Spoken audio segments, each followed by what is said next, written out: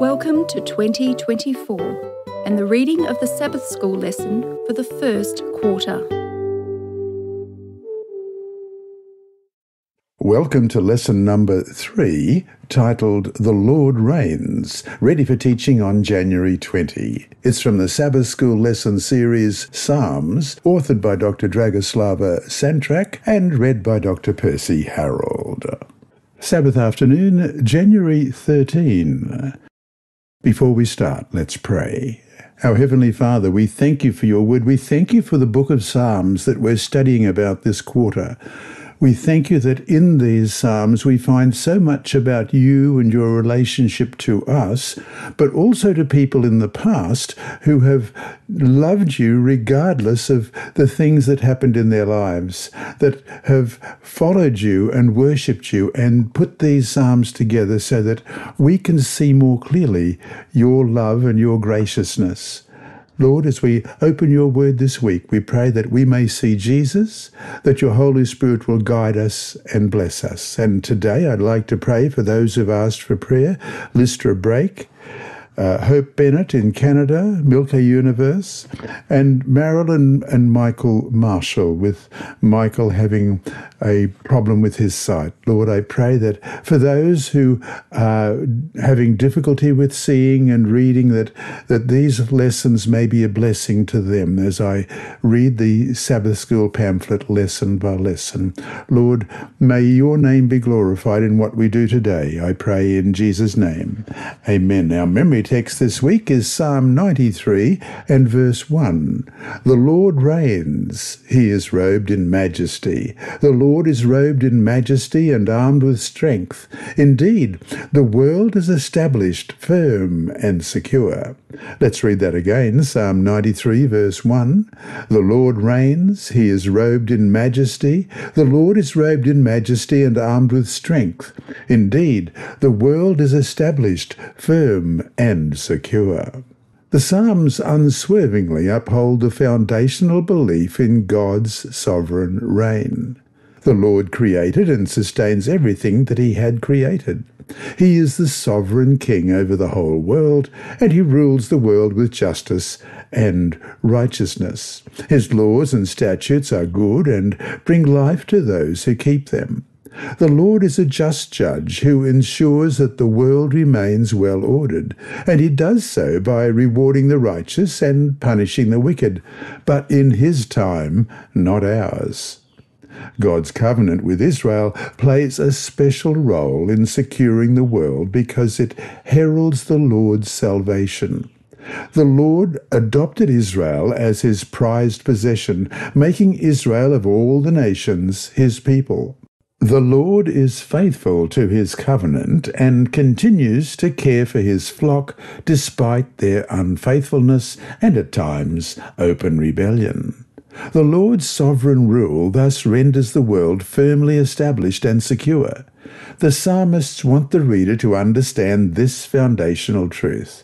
With this worldview as their lighthouse, the psalmists seek to thrive and to serve God with undivided devotion.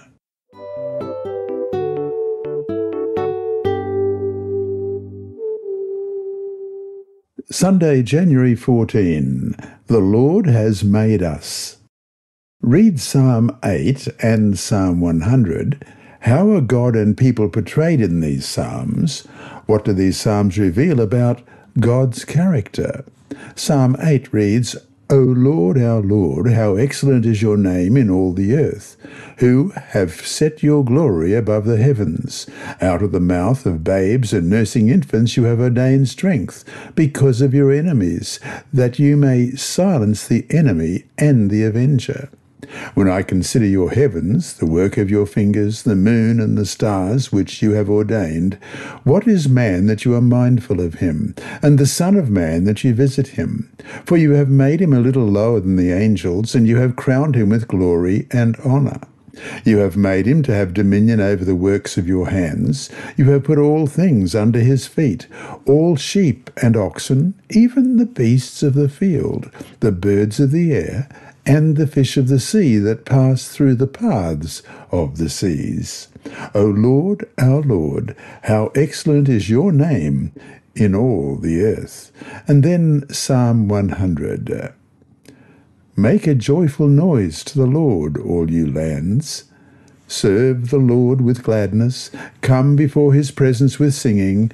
Know that the Lord, he is God. It is he who has made us, and not we ourselves. We are his people and the sheep of his pasture. Enter into his gates with thanksgiving, and into his courts with praise. Be thankful to him, and bless his name, for the Lord is good. His mercy is everlasting, and his truth endures to all generations.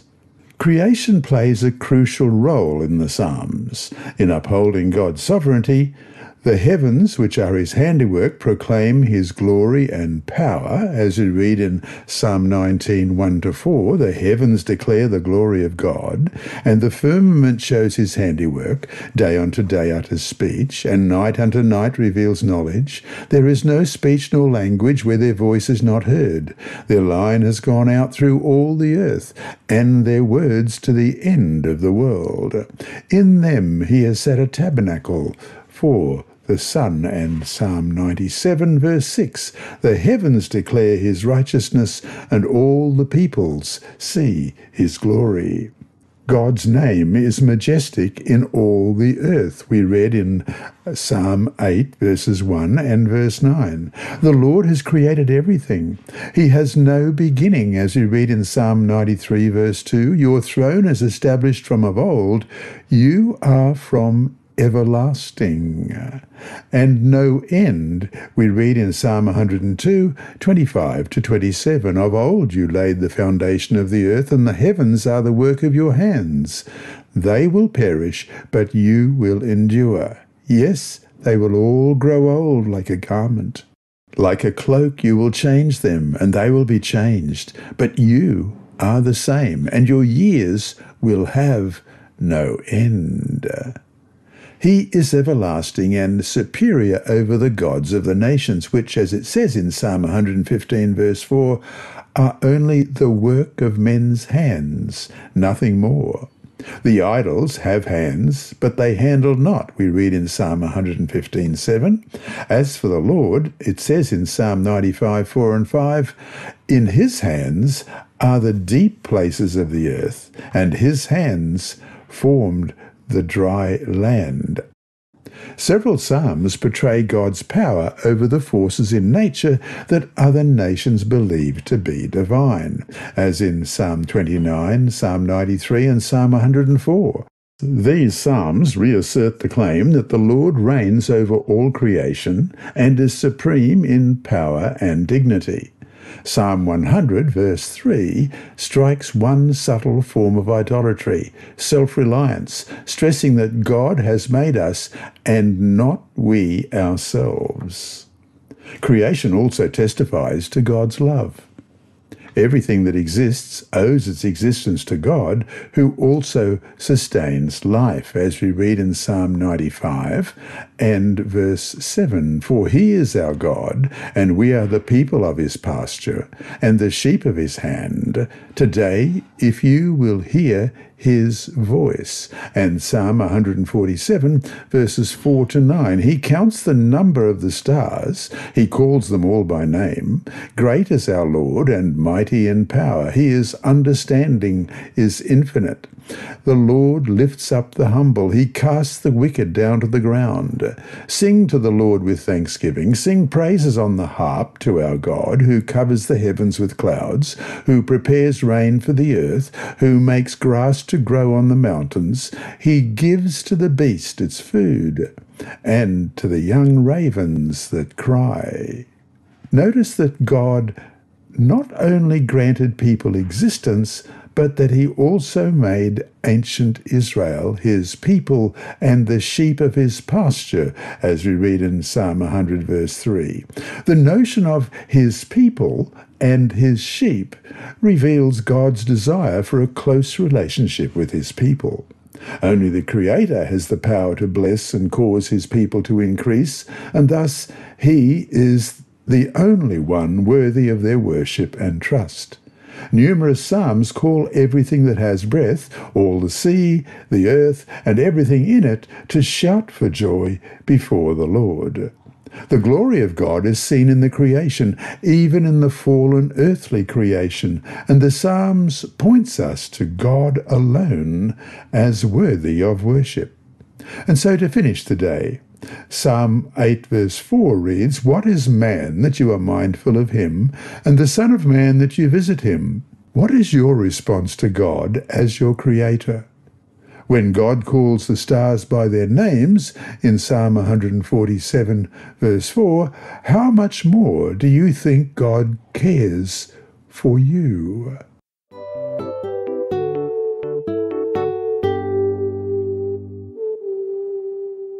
Monday, January 15, The Lord Reigns. Closely tied, in fact inseparably tied to the Lord as Creator, is the Lord as Sovereign, as Ruler. The declaration, the Lord reigneth, is solemnly proclaimed in Psalm 93, verse 1. And that reads, The Lord reigns, he is clothed with majesty, the Lord is clothed, he has girded himself with strength. Surely the world is established so that it cannot be moved. And in Psalm 96, verse 10, say among the nations, The Lord reigns. The world also is firmly established, it shall not be moved. He shall judge the peoples righteously. And Psalm 97, verse 1 The Lord reigns. Let the earth rejoice. Let the multitude of isles be glad. And Psalm 99, verse 1 The Lord reigns. Let the peoples tremble. He dwells between the cherubim. Let the earth be moved. But its echoes are heard throughout the book of Psalms. The Lord is clothed with honour, majesty, and strength, as we read in uh, Psalm 93 1. And Psalm 104, verse 1 also says, Bless the Lord, O my soul. O Lord my God, you are very great, clothed with honour and majesty. He is surrounded with clouds and darkness. We read in Psalm 97 2 Clouds and darkness surround him, righteousness and justice are the foundation of his throne.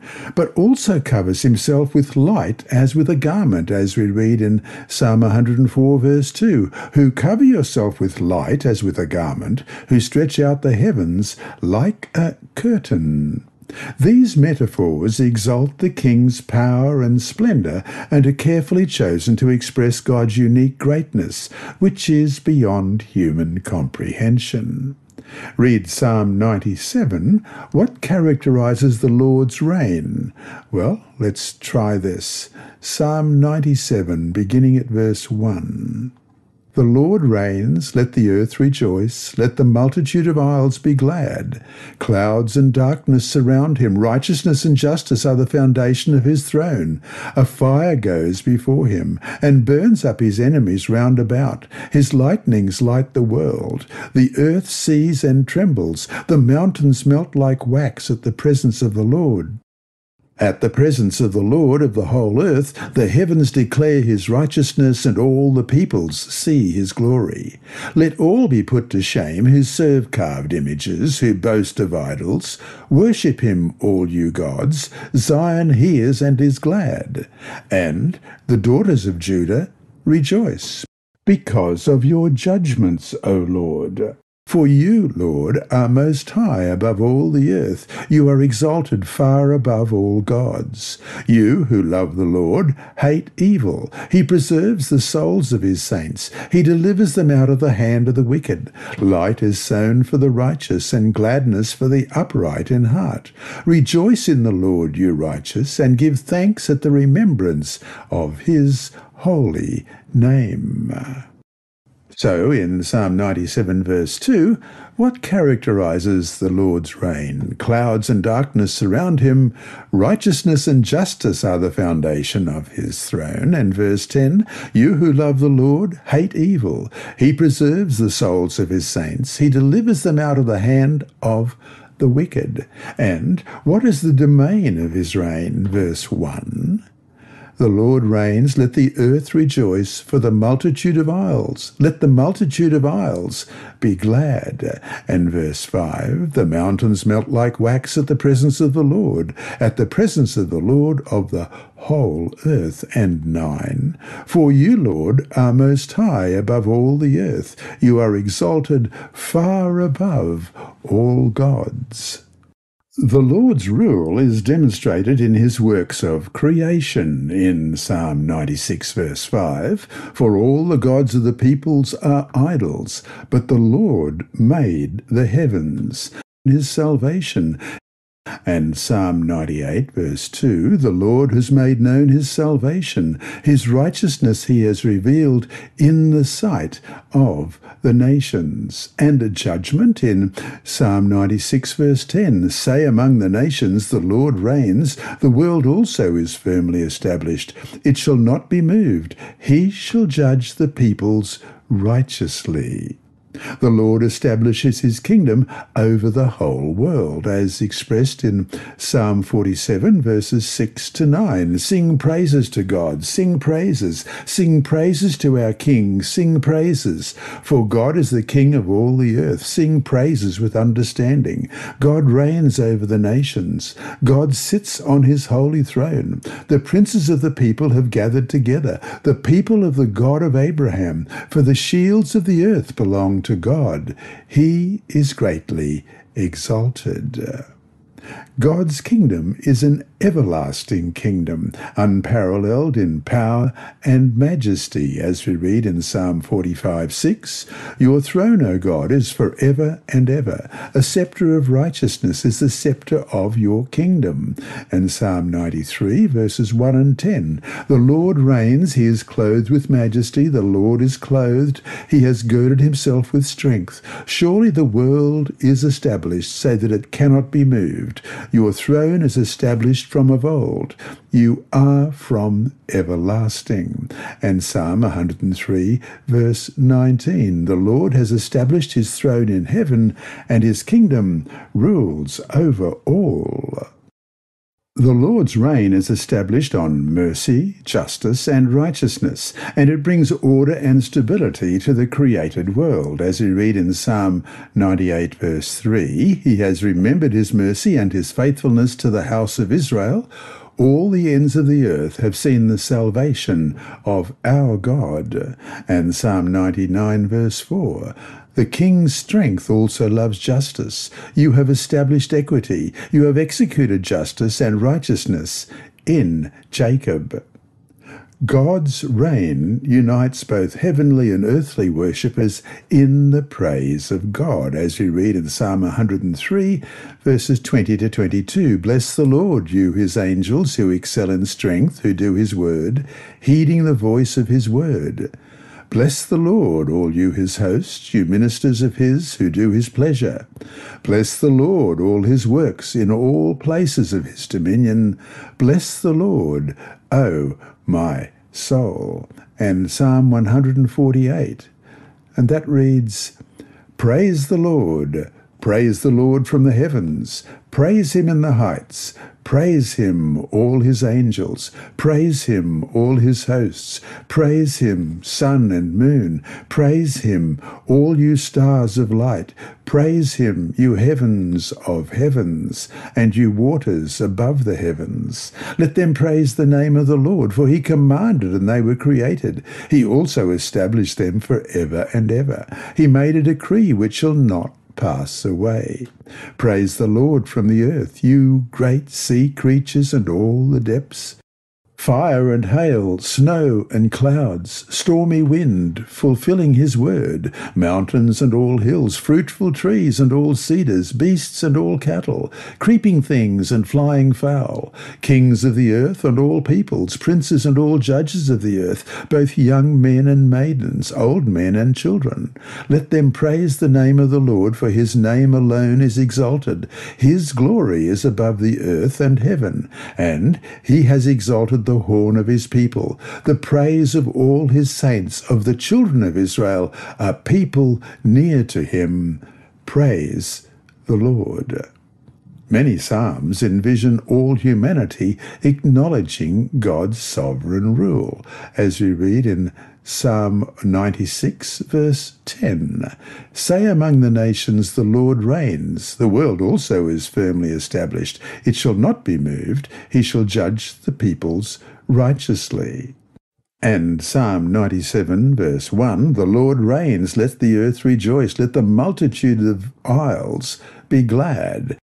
And Psalm 99, verse 1 The Lord reigns, let the peoples tremble. He dwells between the cherubim, let the earth be moved. And Psalm 145, verses 11 to 13. They shall speak of the glory of your kingdom and talk of your power, to make known to the sons of men his mighty acts and the glorious majesty of his kingdom. Your kingdom is an everlasting kingdom, and your dominion endures throughout all generations.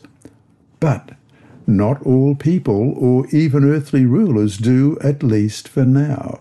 The Lord's reign is constantly defied by the wicked who deny and mock the Lord and oppress his people, as you read in Psalm 14 and verse 1. The fool has said in his heart, There is no God. They are corrupt. They have done abominable works. There is none who does good. And Psalm 74, verses 3 to 22. Lift up your feet to the perpetual desolations. The enemy has damaged everything in the sanctuary.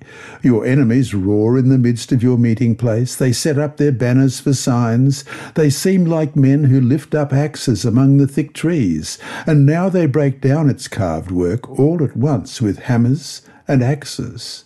They have set fire to your sanctuary. They have defiled the dwelling place of your name to the ground. They said in their hearts, Let us destroy them altogether. They have burned up all the meeting places of God in the land.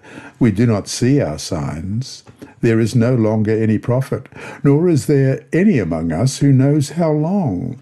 O God, how long will the adversary reproach? Will the enemy blaspheme your name forever? Why do you withdraw your hand, even your right hand? Take it out of your bosom and destroy them. For God is my King from of old, working salvation in the midst of the earth. You divided the sea by your strength. You broke the heads of the sea serpents in the waters. You broke the heads of Leviathan in pieces and gave them as food to the people inhabiting the wilderness. You broke open the fountain and the flood. You dried up mighty rivers. The day is yours. The night also is yours. You have prepared the light and the sun. You have set all the borders of the earth. You have made summer and winter. Remember this, that the enemy has reproached, O Lord, and that a foolish people has blasphemed your name. O, do not deliver the life of your turtle dove to the wild beast. Do not forget the life of your poor forever. Have respect to the covenant, for the dark places of the earth are full of the haunts of cruelty, and do not let the oppressed return ashamed. Let the poor and needy praise your name. Arise, O God, plead your own cause. Remember how the foolish man reproaches you daily. Though Challenged by the prosperity of some wicked people and troubled by God's forbearance, the psalmist trusts in God's sovereign rule and continues to flourish in the assurance of God's righteous judgments as we read in Psalm 68, verse 21 But God will wound the head of his enemies, the hairy scalp of the one who still goes on in his trespasses. And in Psalm 73, verses 17 to 20 Until I went into the sanctuary of God, then I understood their end. Surely you set them in slippery places, you cast them down to destruction. Oh, how they are brought to desolation as in a moment! They are utterly consumed consumed with terrors, as a dream when one awakes, so, Lord, when you awake, you shall despise their image. By faith, God's people rejoice in the inauguration of God's kingdom through Christ's redeeming ministry and wait for the consummation of the kingdom at Christ's second coming, as you read in Matthew 12, 26 and onwards. If Satan casts out Satan, he is divided against himself. How then will his kingdom stand? And if I cast out demons by Beelzebub, by whom do your sons cast them out? Therefore they shall be your judges. But if I cast out demons by the Spirit of God, surely the kingdom of God has come upon you. And 1 Corinthians 15, verses 20 to 28. But now Christ is risen from the dead, and has become the firstfruits of those who have fallen asleep. For since by man came death, by man also came the resurrection of the dead. For as in Adam all die, even so in Christ all shall be made alive, but each one in his own order Christ the firstfruits, afterwards those who are Christ's at his coming. Then comes the end, when he delivers the kingdom to God the Father, when he puts an end to all rule and all authority and power for he must reign till he has put all enemies under his feet. The last enemy that will be destroyed is death, for he has put all things under his feet. But when he says all things are put under him, it is evident that he who put all things under him is accepted. Now, when all things are made subject to him, then the Son himself will also be subject to him who put all things under him, that God may be all in all. And so to finish today, Psalm 97 verse 10 reads, You who love the Lord hate evil. Why should our love for God cause us to hate evil?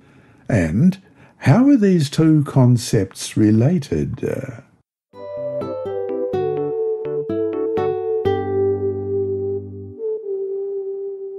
Tuesday, January 16, God is the Judge. Read Psalm 75. Why is the boasting of the wicked in vain? Psalm 75, beginning at verse 1 We give thanks to you, O God, we give thanks. For your wondrous works declare that your name is near. When I choose the proper time, I will judge uprightly. The earth and all its inhabitants are dissolved. I set up its pillars firmly. Selah. I said to the boastful, Do not deal boastfully, and to the wicked, Do not lift up the horn, do not lift up your horn on high, do not speak with a stiff neck. For exultation comes neither from the east, nor from the west, nor from the south. But God is the judge. He puts down one and exalts another. For in the hand of the Lord there is a cup, and the wine is red. It is fully mixed, and he pours it out. Surely its dregs shall all the wicked of the earth drain and drink down.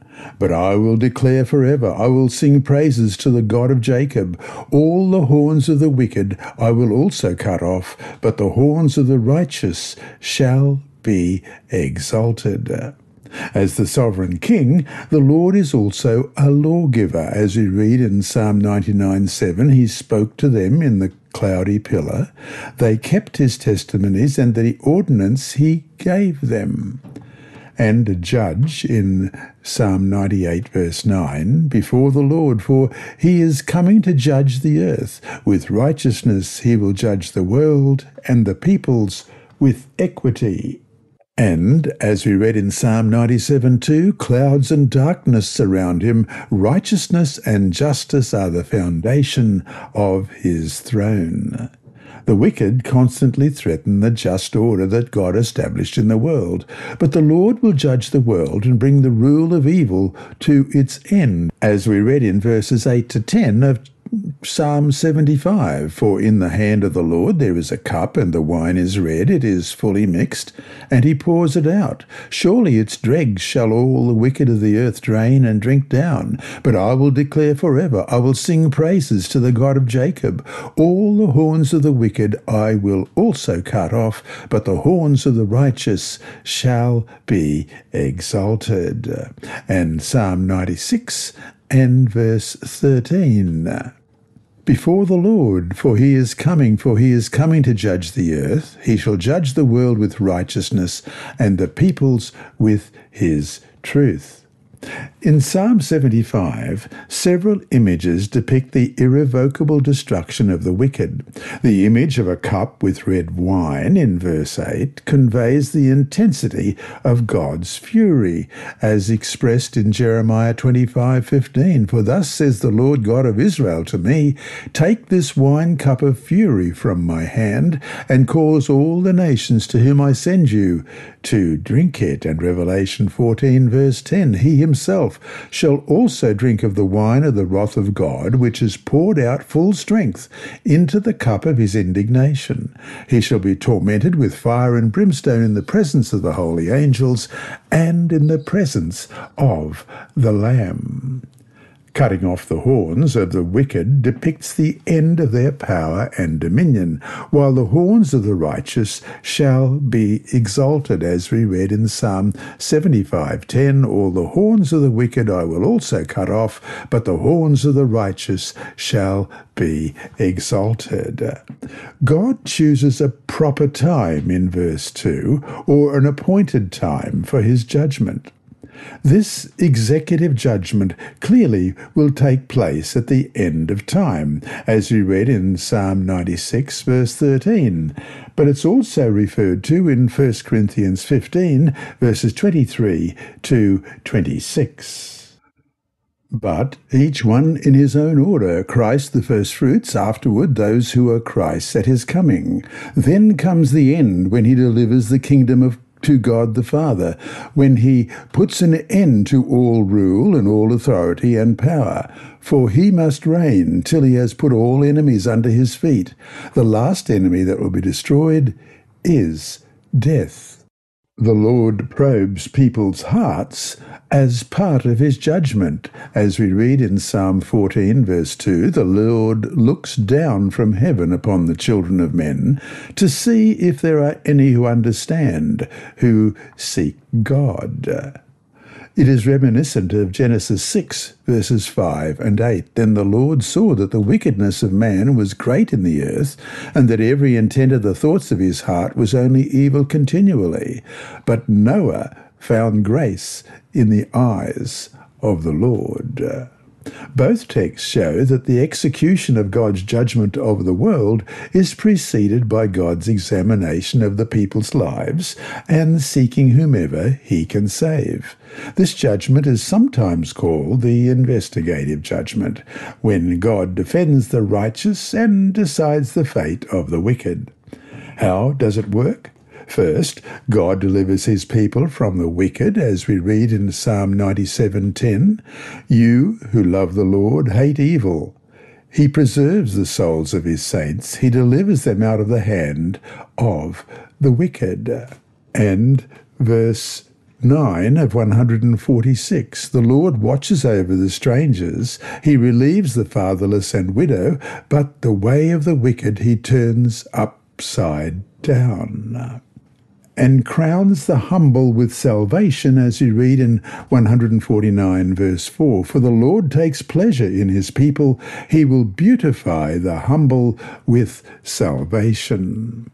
Second, the unrepentant wicked are destroyed forever, as you read in Psalm 97 and verse 3.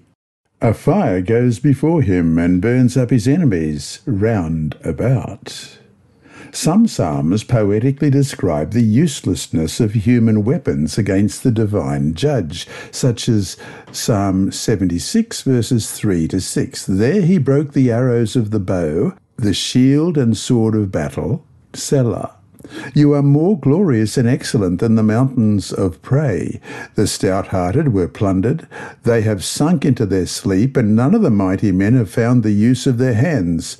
At your rebuke, O God of Jacob, both the chariot and horse were cast into a dead sleep. The Lord is also a forgiving God, although he punishes people's misdeeds, as we read in Psalm 99, verse 8. You answered them, O Lord our God. You were to them God who forgives, though you took vengeance on their deeds. God's people, not only the wicked, shall give an account to God. As you read in Psalm 50, verse 4, He shall call to the heavens from above and to the earth that He may judge His people. And Psalm 135, verse 14, For the Lord will judge His people, and He will have compassion on His servants. The Psalms convey the same notion that is expressed in other biblical texts that God's judgment begins with God's people and is extended to the whole earth. As you read in Deuteronomy 32 36, For the Lord will judge his people and have compassion on his servants when he sees that their power is gone and there is no one remaining bond or free. And 1 Peter chapter 4 and verse 17, For the time has come for judgment to begin at the house of God. And if it begins with us first, what will be the end of those who do not obey the gospel of God? The psalmist cries to God to judge him, but relies on God's righteousness to defend him. As you read in Psalm 7 8 to 11, The Lord shall judge the peoples. Judge me, O Lord, according to my righteousness and according to my integrity within me. O let the wickedness of the wicked come to an end, but establish the just, for the righteous God tests the hearts and minds. My defense is of God, who saves the upright in heart. God is a just judge, and God is angry with the wicked every day. And Psalm 139, verses 23 to 24 Search me, O God, and know my heart. Try me and know my anxieties, and see if there is any wicked way in me, and lead me in the way everlasting. The Psalms call us to rejoice in anticipation of God's judgments, as you read in Psalm 67, verse 4. O let the nations be glad and sing for joy, for you shall judge the people righteously and govern the nations on earth. Selah. And Psalm 96, verses 10 to 13. Say among the nations, the Lord reigns. The world also is firmly established. It shall not be moved. He shall judge the peoples righteously. Let the heavens rejoice, and let the earth be glad. Let the sea roar, and all its fullness. Let the field be joyful, and all that is in it. Then all the trees of the woods will rejoice before the Lord. For he is coming, for he is coming to judge the earth. He shall judge the world with righteousness, and the peoples with his truth. And Psalm 98, verses 4 to 9. Shout joyfully to the Lord, all the earth, break forth in song, rejoice and sing praises. Sing to the Lord with the harp, with the harp and the sound of a psalm, with trumpets and the sound of a horn. Shout joyfully before the Lord, the King. Let the sea roar and all its fullness, the world and those who dwell in it. Let the rivers clap their hands. Let the hills be joyful together before the Lord. For he is coming to judge the earth. With righteousness he shall judge the world, and the peoples with equity. And so, to finish today, how is God's judgment good news for those covered by the blood of Christ?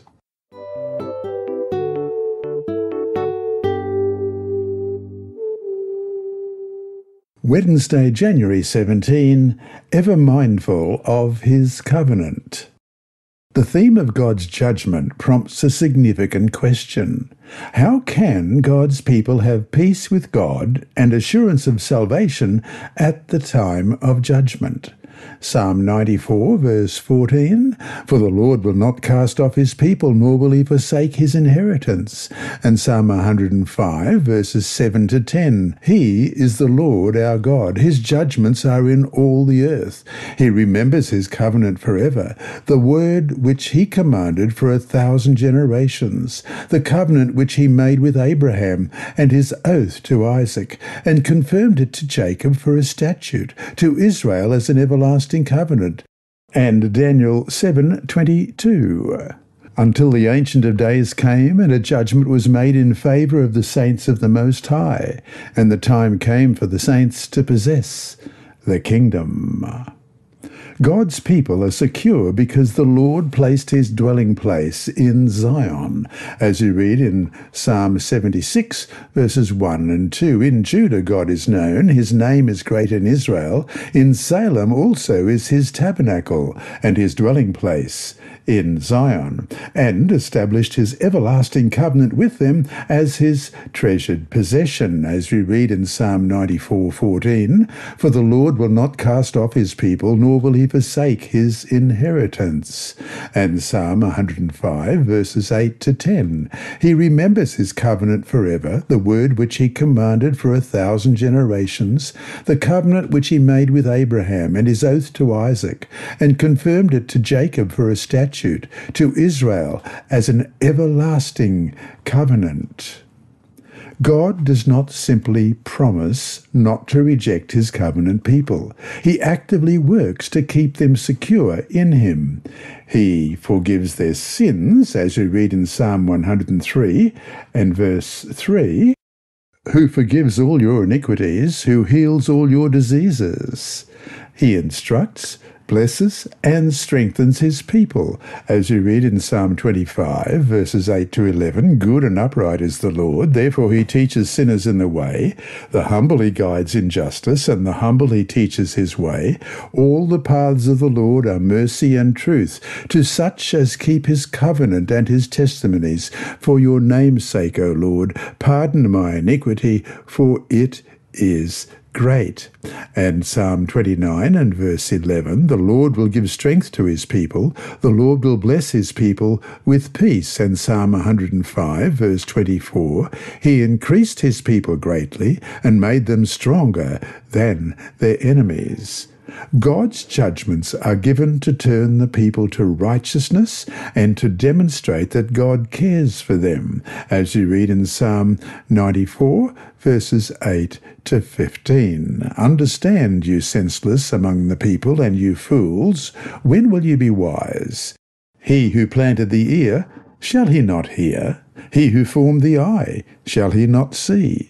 He who instructs the nations, shall he not correct? He who teaches man knowledge. The Lord knows the thoughts of man, that they are futile. Blessed is the man whom you instruct, O Lord, and teach out of your law, that you may give him rest from the days of adversity until the pit is dug for the wicked. For the Lord will not cast off his people, nor will he forsake his inheritance.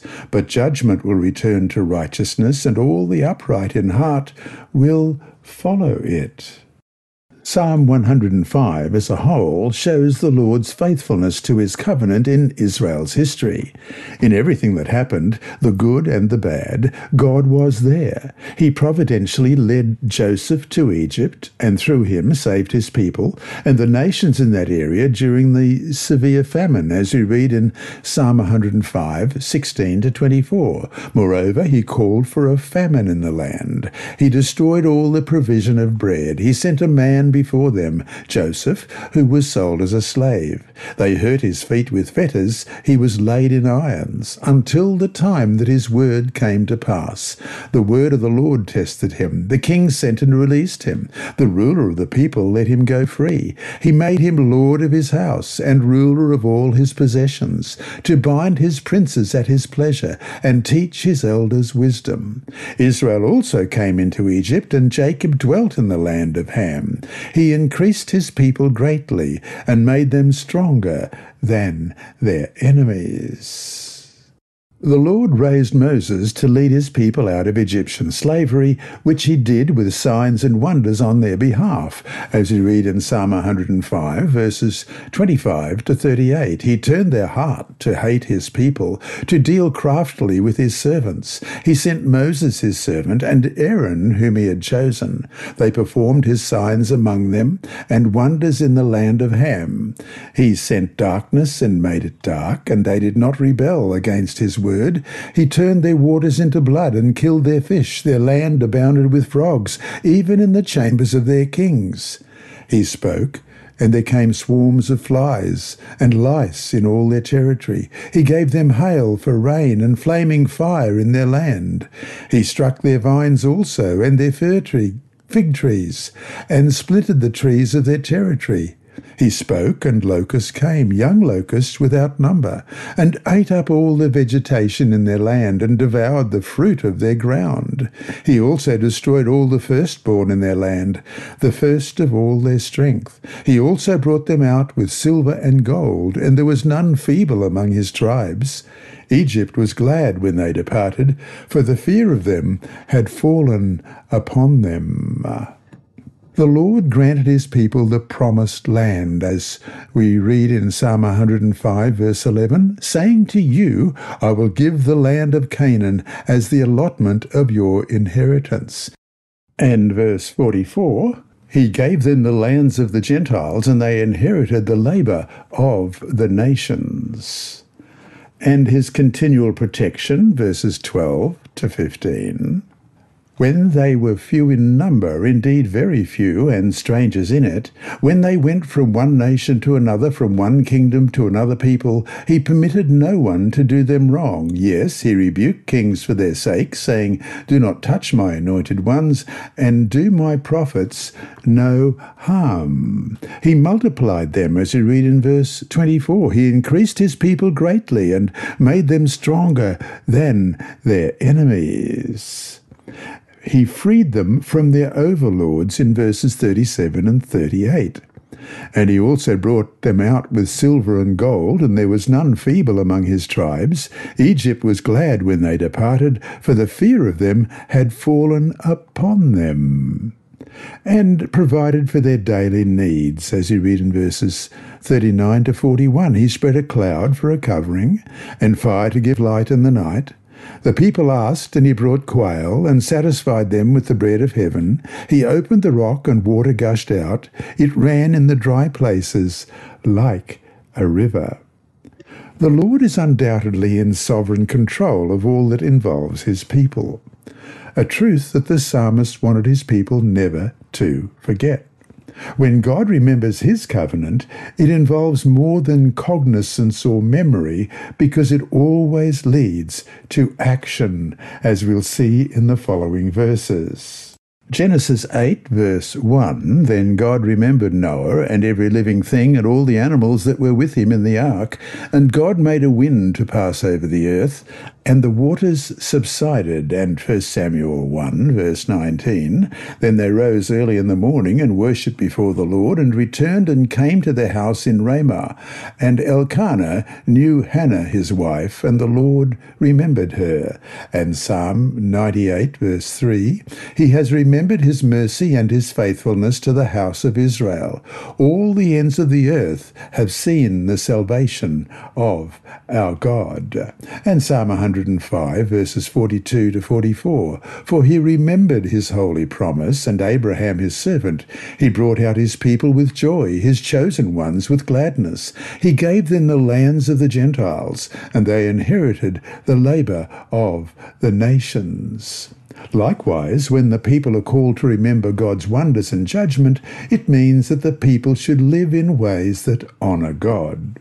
In this covenant, Israel's primary calling is to remain faithful to the covenant by observing God's laws, as you read in Psalm 78, verses 5 to 7. For he established the testimony in Jacob, and appointed a law in Israel, which he commanded our fathers, that they should make them known to their children, that the generation to come might know them, the children who would be born, that they may arise and declare them to their children, that they may set their hope in God and not forget the works of God, but keep his commandments. In Psalm 105, verse 45, that they might observe his statutes and keep his laws. Praise the Lord. God's people also are called to bear witness about God to other nations because the Lord wishes all nations to join his people Israel, as we read at the beginning of Psalm 105, verses 1 and 2. Oh, give thanks to the Lord, call upon his name, make known his deeds among the peoples, sing to him, sing psalms to him, talk of all his wondrous works. The world is thus secure in the protective covenant of the Almighty and the merciful God, as we read in Psalm 89, verses 28 to 34. My mercy I will keep for him forever, and my covenant shall stand firm with him. His seed also I will make to endure forever, and his throne as the days of heaven. If his sons forsake my law, and do not walk in my judgments, if they break my statutes and do not keep my commandments, then I will punish their transgression with the rod, and their iniquity with stripes. Nevertheless, my loving kindness I will not utterly take from him, nor allow his faithfulness to fail. My covenant I will not break, nor alter the word that has gone out of my lips. And so to finish the day, what do we have in Jesus which shows why these promises made to ancient Israel can now apply to us? We find that in Galatians 3, verses 26 to 29. For you are all sons of God through faith in Christ Jesus, for as many of you as were baptized into Christ have put on Christ. There is neither Jew nor Greek, there is neither slave nor free. There is neither male nor female, for you are all one in Christ Jesus. And if you are Christ's, then you are Abraham's seed and heirs according to the promise.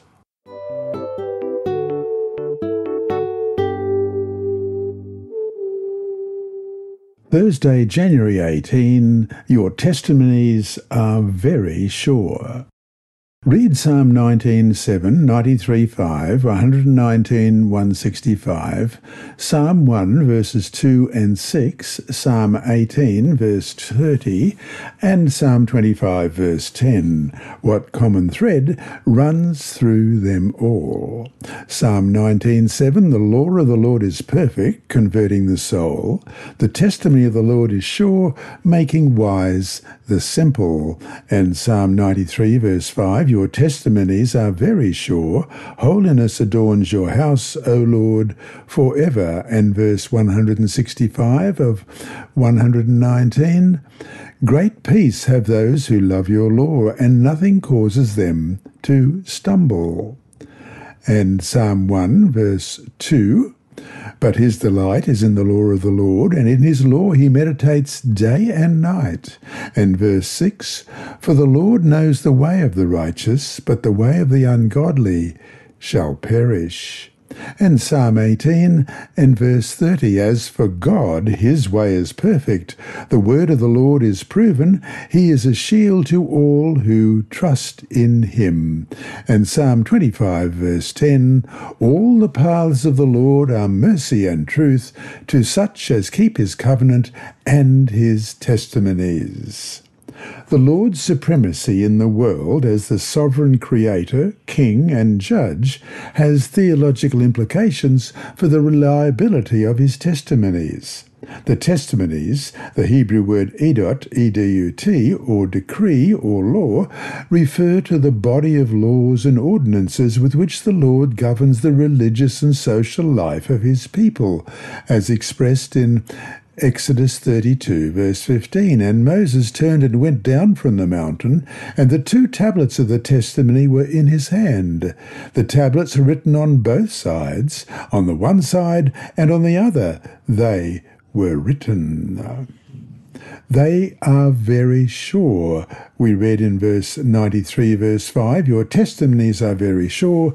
Holiness adorns your house, O Lord forever, reflecting the stability and permanence of God's throne and the world that God created and sustains. As we read in Psalm 93, verses 1 and 2 The Lord reigns, He is clothed with majesty, the Lord is clothed, He has girded Himself with strength. Surely the world is established so it cannot be moved. Your throne is established from of old, you are from everlasting. The Hebrew word translated as sure, the English word amen derives from this word, conveys the notion of reliability, faithfulness, and firmness, as we read in 2 Samuel 7 and verse 16, And your house and your kingdom shall be established forever before you, your throne shall be established forever and 1 Chronicles 17:23 And now O Lord the word which you have spoken concerning your servant and concerning his house let it be established forever and do as you have said. God's laws are unchangeable and indestructible God vouches for the integrity of his promises and commands.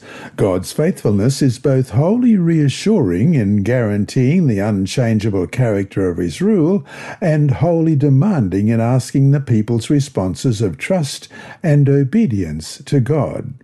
At the same time, the lack of justice in the world is poetically described as a shaking of earth's foundations. In Psalm 18, verse 7, Then the earth shook and trembled, the foundations of the hills also quaked and were shaken, because he was angry. And Isaiah 24, verses 18 to 21, And it shall be that he who flees from the noise of the fear shall fall into the pit, and he who comes up from the midst of the pit shall be caught in the snare. For the windows from on high are open, and the foundations of the earth are shaken. The earth is violently broken, the earth is split open, the earth is shaken exceedingly.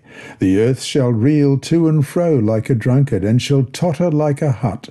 Its transgression shall be heavy upon it, and it will fall and not rise again. It shall come to pass in that day that the Lord will punish on high the host of exalted ones, and on the earth the kings of the earth. God's law instructs the people in the way of righteous life that can withstand God's judgment. The righteous, thus, shall not be shaken because they are firmly rooted in His law, which provides stability and security, and their hearts are steadfast. The Hebrew word kun, K-U-N, also means be firm, be secure in the Lord, as we read in Psalm 112, verse 1. Blessed is the man who fears the Lord, who delights greatly in his commandments. And verses 6 and 7 Surely he will never be shaken. The righteous will be in everlasting remembrance. He will not be afraid of evil tidings. His heart is steadfast, trusting in the Lord. Nothing causes those who keep God's law to stumble. We read in Psalm 119, well, we did read in Psalm 119, verse 165, which signifies God's protection and guidance in life. And we read that in Psalm 1, verses 2, 3, and 6. God's word is depicted as the lamp to the psalmist's feet, and so it protects him from the enemy's hidden snares. As you read in Psalm 119, verse 105, Your word is a lamp to my feet and a light to my path. And verse 110, The wicked have laid a snare for me, yet I have not strayed from your precepts. Great peace, which is enjoyed by those who love God's law, as expressed in verse 165, Great peace have those who love your law, and nothing causes them to stumble, obviously does not result from a total absence of trials, as you read in verse 161. Princes persecute me without a cause, but my heart stands in awe of your word. It rather derives from abiding in God's presence and having a wholesome relationship with Him. And so, to finish today, what are practical ways that keeping God's laws and rules and testimonies have helped you in your life? On the other hand, what have you suffered from violating them?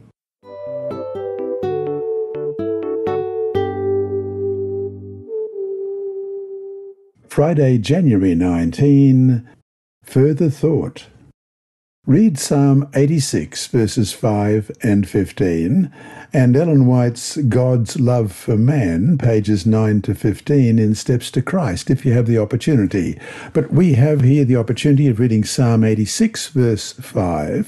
For you, Lord, are good and ready to forgive, and abundant in mercy to all those who call upon you. And verse 15. But you, O Lord, are a God full of compassion and gracious, long suffering, and abundant in mercy and truth. How does the truth that God is love help us better understand the various descriptions of God and his deeds in the Psalms? This week's study focuses on some key descriptions of God and his activities, which establish the world and render it firm and secure. The psalmist appealed to God, who is the creator, king, judge, covenantal savior, and lawgiver. The roles in the world that God occupies are further reflected in God's various other names and titles, including Shepherd in Psalm 23, verse 1, The Lord is my shepherd, I shall not want, and in Psalm 80, verse 1, Give ear, O shepherd of Israel, you who lead Joseph like a flock, you who dwell between the cherubim, shine forth the rock of salvation, as we read in Psalm 95, verse 1 O come, let us sing to the Lord, let us shout joyfully to the rock of our salvation. And Father in 68, verse 5 A father of the fatherless, a defender of widows, is God in his holy habitation. And also, Father, in Psalm 89, verse 26, He shall cry to me, You are my Father, my God, and the rock of my salvation. In the world, we can be secure and safe even amid the turmoil of the great controversy because God is sovereign and faithful in all he does and says. Although these theological themes are by no means exhaustive, they are suggestive of the various ways in which God reveals himself in the Psalms. As we continue to study the Psalms, it is important to remember to read the Psalms in the light of God's character of love and grace and his plan to save and restore the world. The more we study the divine character in the light of the cross, we read in Steps to Christ, page 15, the more we see mercy, tenderness, and forgiveness blended with equity and justice, and the more clearly we discern innumerable evidences of a love that is infinite and a tender pity surpassing a mother's yearning sympathy for her wayward child. End of quote. In the Psalms, even when the people face God's judgment for their rebellion, they continue to call upon God because they know that God's anger is only for a time, but his mercy is everlasting. We read in Psalm 103 and verse 8. The Lord is merciful and gracious, slow to anger, and abounding in mercy. And that brings us to our four discussion questions for this week. One, why is understanding the reality and prevalence of the great controversy crucial in helping us understand that despite God's ultimate rulership and sovereignty, there is still much turmoil and suffering in our world? Why is the great controversy motif so helpful to us? And two, how should the belief in God as Creator shape our understanding of ourselves and our relationship with the rest of creation? What happens when the people stray from that truth? Well, there are some clues in Psalm 106, verses 35 to 42. But they mingled with the Gentiles and learned their works. They served their idols, which became a snare to them. They even sacrificed their sons and their daughters to demons and shed innocent blood. The blood of their sons and daughters, whom they sacrificed to the idols of Canaan, and the land were polluted with blood. Thus they were defiled by their own works and played the harlot by their own deeds. Therefore the wrath of the Lord was kindled against his people, so that he abhorred his own inheritance, and he gave them into the hand of the Gentiles, and those who hated them ruled over them. Their enemies also oppressed them, and they were brought into subjection under their hand. And question three, what was wrong with the idols of the nations in biblical times? Psalm 115, verses 4 to 8. Their idols are silver and gold, the work of men's hands. They have mouths, but they do not speak. Eyes they have, but they do not see. They have ears, but they do not hear. Noses they have, but they do not smell. They have hands, but they do not handle. Feet they have, but they do not work. Nor do they mutter through their throat. Those who make them are like them. So is everyone who trusts in them.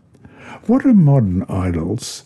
Why are they just as dangerous to our walk with the Lord? And four, how should God's people live knowing that God's judgment begins with his people? How does God judge his people and to what end?